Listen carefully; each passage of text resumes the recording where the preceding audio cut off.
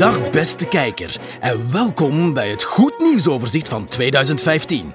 In januari onthult Rolls-Royce haar jaarcijfers. De autobouwer verkocht in 2014 voor het eerst meer dan 4000 luxewagens.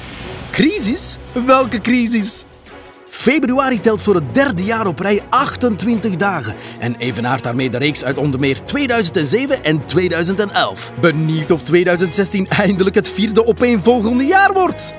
In maart zijn alle ogen op Zuid-Afrika gericht.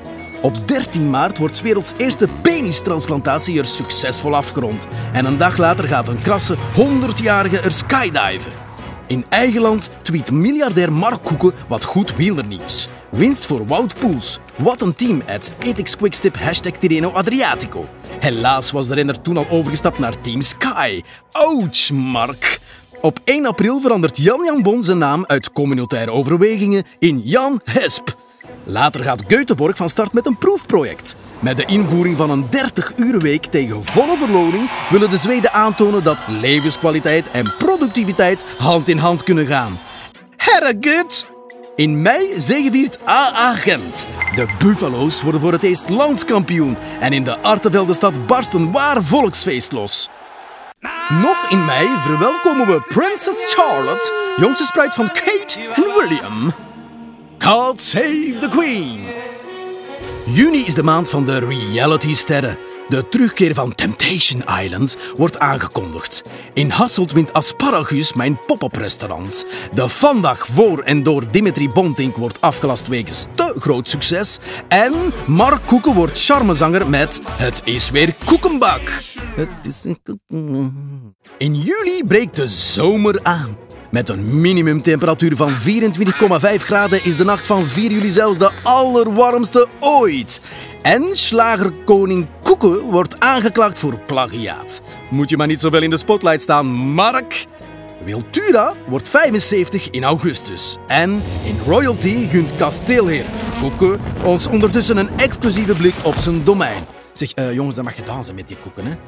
September staat in het teken van het bezoek van de paus aan de Verenigde Staten. Een speciale Fiat 500 geeft hem alle bescherming. Maar eens in de buitenlucht is Franciscus ook maar een mens, zoals u en ik.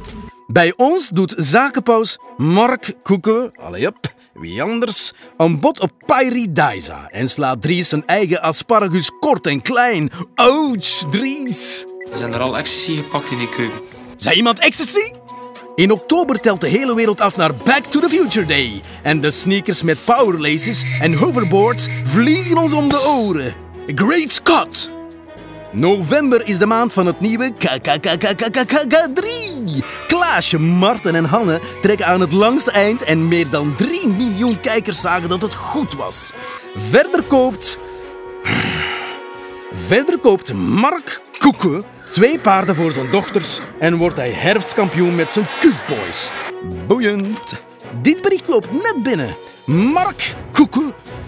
Bla bla bla bla bla. 75 miljoen voor kankeronderzoek. Bla bla bla bla bla. Wenst iedereen een. Moet eens even zien. Wenst iedereen een farmatastisch kerstfeest en een paradijzalig 2016. Allee, jongens, meent hij dat nu? Die mediagale foemp, godverdomme, ik ben hier zo buiskapap. Wat een flauwe kul, zeg. Echt wat een foemp. In het kwadraat is dat. Echt, slaat dat gewoon op de fretter. Het is weer koekenbak op zijn bakkes, ja. Echt waar, jongen. Broek af en een micro erin. En laat me gaan en neem het allemaal in schoen op. En maak daar een plotje van. Een lozel, een lilliputter. Zak. Godverdomme. Ja, sorry, ze.